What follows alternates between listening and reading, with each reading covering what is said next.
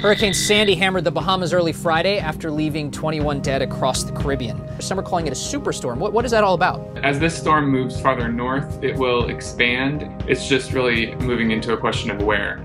Beach was saying that, oh, this is all for nothing. The guy says, in 40 years I've lived here, nothing has happened. And uh, this could be the one time. There's a shot of Atlantic City, New Jersey this morning as Hurricane Sandy is on her way. Stock and options markets are closed today. Thousands of flights have been canceled.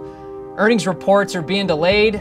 And like I said, Sandy isn't even here yet. The most important message that I have for the public right now is please listen to what your state and local officials are saying. Uh, when they tell you to evacuate, you need to evacuate.